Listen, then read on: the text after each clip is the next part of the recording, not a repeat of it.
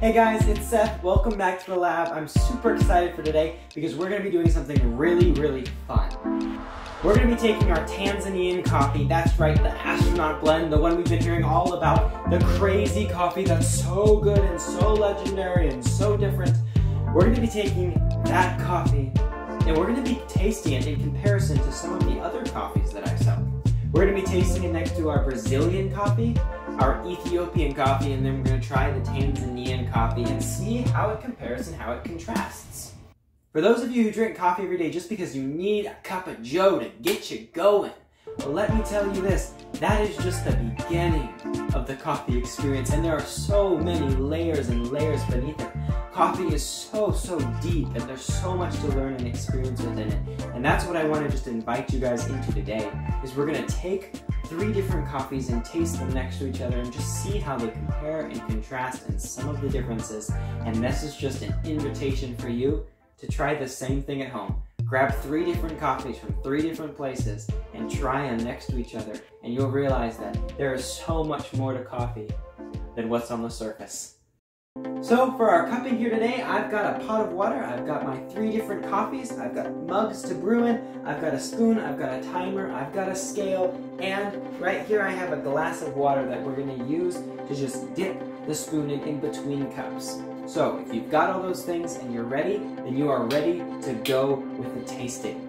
But before we start, I just want to remind you that we are doing a lot of really cool stuff this month with the Tanzanian coffee. For example, any astronaut blend coffee you purchase or any astronaut blend merch you buy, you will get a free astronaut blend sticker. As well as that, you'll be entered into a competition to win a free DeLonghi espresso machine. You don't want to miss out on that. Also, if you guys are here right now, you probably came from our email newsletter, but if you didn't, and you're not subscribed to our email newsletter, you need to go sign up. We offer tons of special exclusive deals there through email and also lots of fun updates on what's going on in the lab. You don't want to miss it. Head to coffeewithamission.shop, scroll all the way down to the bottom, and click to sign up to the newsletter. The other thing I want to throw your way is we just got a bunch more really awesome shirts and hats in stock when we got the astronaut blend that we're excited to offer to you guys. They look so awesome, so go check them out and order yourself a shirt or a hat. Remember, you'll be added into that drawing for the espresso machine if you do. So all that said and done, we're ready to start our tasting. I'm gonna get my water boiling here real quick while I just let you know what basically we're gonna be looking for today. For each of these three coffees, we're going to be looking at the aromatics, how it smells. We're going to be looking at the flavor of it, the acidity, the sweetness, the body, the finish for all of these coffees. So while my water finishes to boil, here's what I'm going to do. I'm going to start my scale. I'm going to go ahead and tare it out with this cup on top. And what I'm going to do is I'm going to add 9 grams of coffee to each of these. I have this pre-weighed ahead of time, so that makes it a little bit easier. I know 9 grams of coffee in, 9 grams of coffee in, and we're good to go. I would be certain when you're doing this to actually go ahead and weigh each of your cups. What I find is that sometimes you'll have the exact same cup, but they'll have different weights to them. For example, this cup weighs 3 grams less than this cup. I found that out when I was getting everything set up and I was weighing out my coffee. So just be sure to check your cups when you're doing it. It's something you'd never really think about. Alright, my water is boiled, so we're ready to start the process. I'm gonna let that chill for just a second, maybe 10 seconds to be precise. Meanwhile, I'm gonna get my coffee ready. I'm gonna set that on there. Go ahead and tare the scale, pick up my boiling water, start my timer, and I'm gonna pour in 200 grams of water. Remember, we've got 11 grams of coffee in here. We're pouring in 200 grams of coffee. That tops my mug off pretty good. We're gonna take that off, move on to the next coffee. Again, this mug is heavier than the last one, so we want to be sure to tare our scale in the middle. Go ahead and pour in 200 grams of water. Give or take a gram. That was 201. All right. And then we're to tare our scale and pour in our last coffee.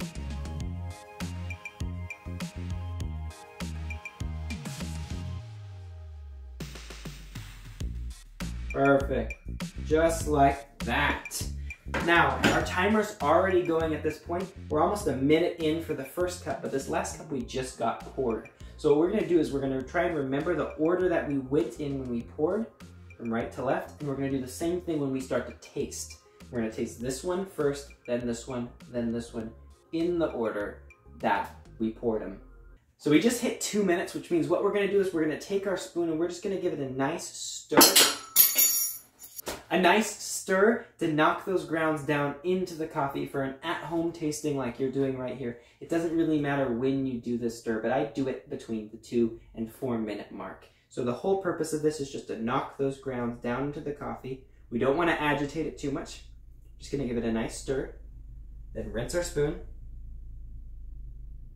Give it a nice stir, rinse our spoon, and there we go. One thing I didn't mention earlier is the grind size for these coffees, and I totally should have said that before I brewed them, before we were at this point in the tasting, but just so you know, it's gonna be a medium coarse grind. So definitely about what you do for maybe a French press or a Chemex, along those lines, but we're not talking small, fine granules. These are pretty big chunks. All right, so we just hit four minutes, which means I'm gonna start with the first coffee. This is our Brazil coffee. I'm just gonna get a little bit of those grounds out of the way, pick up some of the coffee here in my spoon. Mmm. And that is exactly how our Brazilian coffee is supposed to taste. It's this dark, rich coffee that has these strong, strong chocolatey flavors. I love it. All right, we're gonna move on to this next one right here.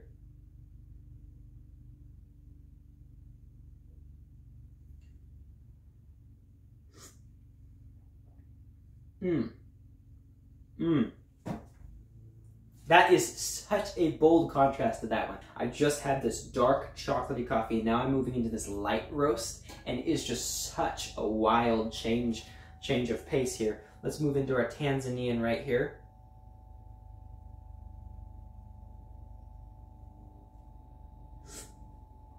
Mmm. Mm-hmm. And that is is almost like a combination of the two, which is wild because this is as dark chocolate and this is as light fruity and this has got got a little bit of both. I'm gonna go in for round two.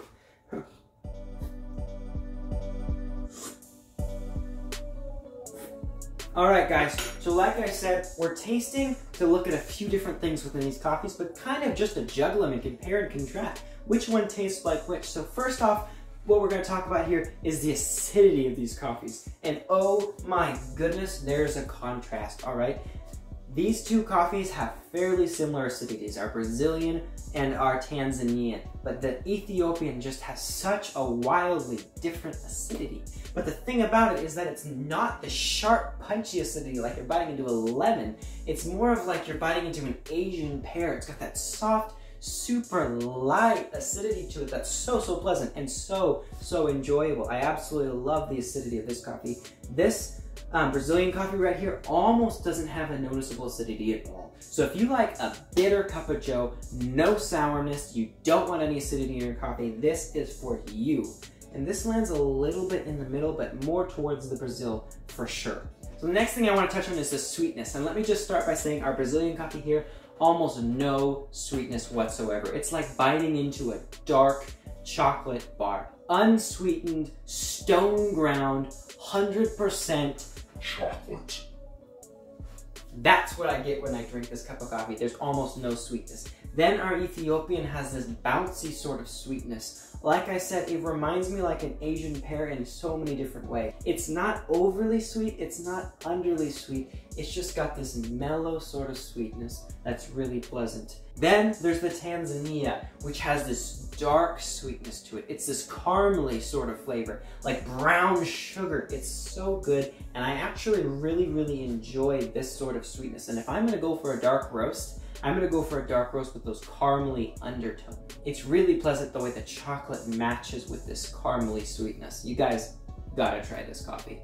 Now, if we're looking at body, I'm gonna say it again, these two have a lot of similarities, and that's because they're both darker roasts. This is a light roast. There's a big difference here, and that comes out again in the body of the coffees. This is a very light bodied coffee, almost like tea whereas these would land more at 2% milk sort of feel. I don't know if that makes sense to you guys, if you know what 2% milk feels like in your mouth. That's what this cup of coffee feels like on the tongue, in the mouth. When we're talking about the finish for these cups of coffee, this has a nice, pleasant, long-lasting aftertaste that's not bad by any means. It's not bitter, it's not overly acidic. It's got this pleasant, rich aftertaste that really leaves a good taste in your mouth. This also has a very pleasant aftertaste. It's not very long lasting. It's fairly short, kind of dies away out of your mouth, but it's really, really pleasant and I absolutely love it. This coffee, on the other hand, the Brazil, it has that long lasting aftertaste, but in comparison to the other two, it's probably the least pleasant of them. I don't dislike the taste of this coffee, but if I had to choose between the three, this would be my last choice. So you guys, if you haven't tried our astronaut blend, you need to try it. If you haven't tried our Ethiopian coffee, you also need to try it. And this Brazilian coffee, if you like a dark roast, if you like coffee that gets you going, if you want a punch in the gut, this dark roast Brazil is for you, okay? This is your coffee. Don't let anyone tell you it's too dark, too bitter. It's not, it's just coffee. So those three coffees are all available on our shop right now. I hope this video was interesting to you guys. I hope it helped you understand a little bit of the complexity behind our different coffees, our Brazilian, our Ethiopian, and our Tanzanian coffee. And I hope it helped bring you a little bit more rounded view of what coffee tasting is about and what, what we're trying to look for in coffees. Again, you guys, thank you so much for watching. I'll put links to all these coffees down below. I'll also put links to other videos and other resources we have regarding our coffees. We've got articles up on the lab results, so much stuff for you guys if you're curious about any of these coffees. So go ahead and check the description and don't forget to subscribe, click the notification bell, like this video, and can't wait to see you next week with more coffee, more videos, more information about it. You guys are so awesome. God bless you.